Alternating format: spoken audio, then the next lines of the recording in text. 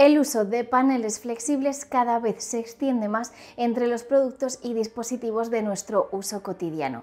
Corsair ha sido la primera compañía en incluir uno de estos paneles OLED Flex en un monitor gaming. El Xeneon Flex 45 de Corsair es un monitor panorámico de 45 pulgadas y que podemos curvar a nuestro antojo usando nuestras propias manos. Mirad.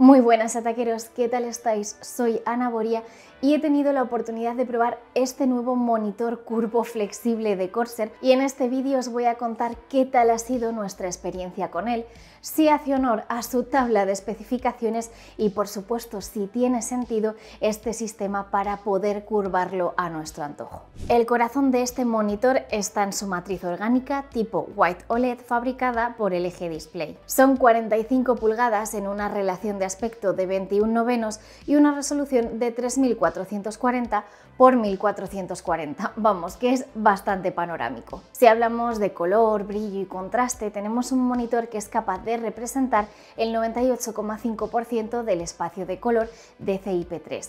Tiene además un máximo de 1000 nits de brillo y tiene una relación de contraste sobresaliente. Además, como os digo, es un monitor gaming y eso lleva consigo que tengamos una frecuencia de refresco de 240 Hz un tiempo de respuesta de solo 0,03 milisegundos y que además sea compatible con las tecnologías FreeSync de AMD y G-Sync de Nvidia.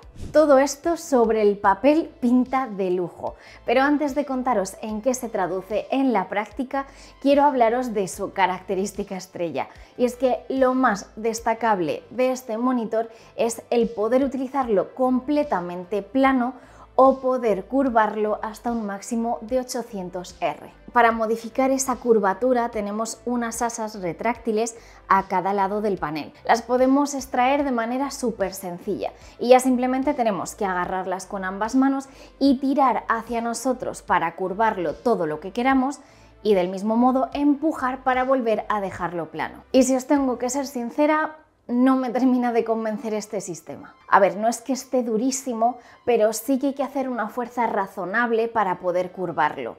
Eso unido al ruidito que hace... La verdad es que la sensación de que lo vamos a romper es muy fuerte. También he notado que a la mínima que no haces la misma presión o la misma fuerza con ambas manos, es difícil saber si hemos curvado la pantalla exactamente igual en los dos laterales. Vamos, que este sistema manual tienen que pulirlo. Ahora bien, aunque no me guste el sistema, sí que creo que tiene muchísimo sentido poder elegir si curvar o no el monitor. Por ejemplo, para mi trabajo, que habitualmente suele ser de edición de vídeo, fotografía o incluso diseño gráfico, los paneles curvos en general me parecen incómodos. En este tipo de procesos de trabajo solemos tener elementos que se desplazan en horizontal de un extremo a otro del panel y la sensación visual en un panel curvo, sobre todo hacia los extremos, es un poco desagradable e incluso puede producir fatiga.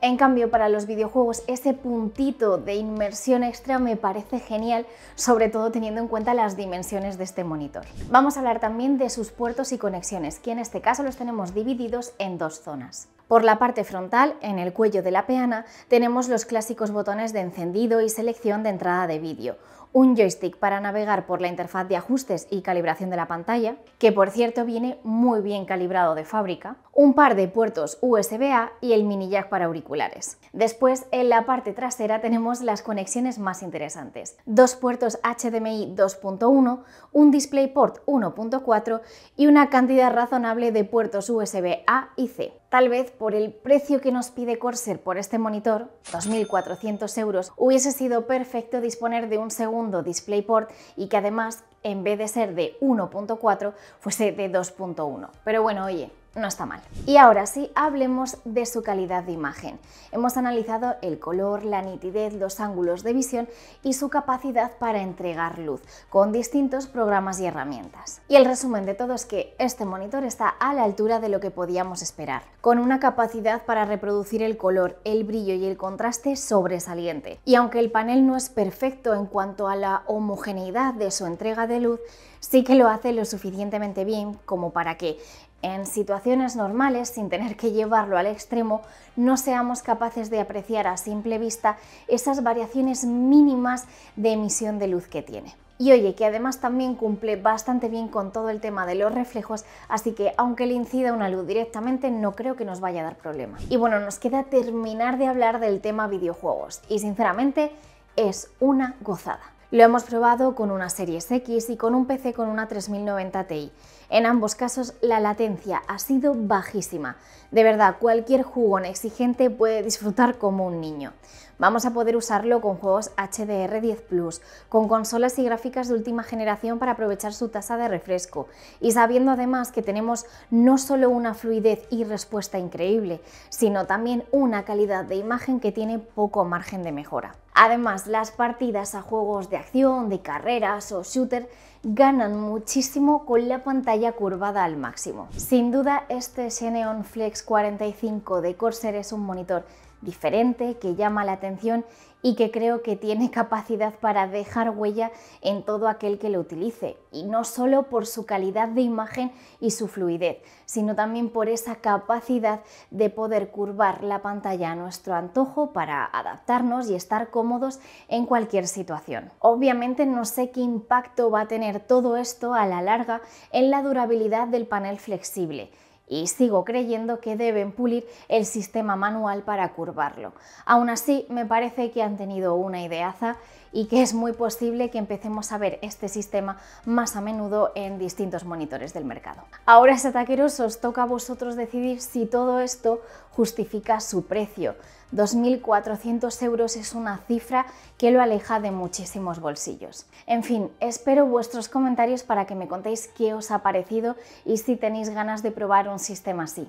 Yo me despido ya y nos vemos muy pronto en un próximo vídeo. ¡Chao!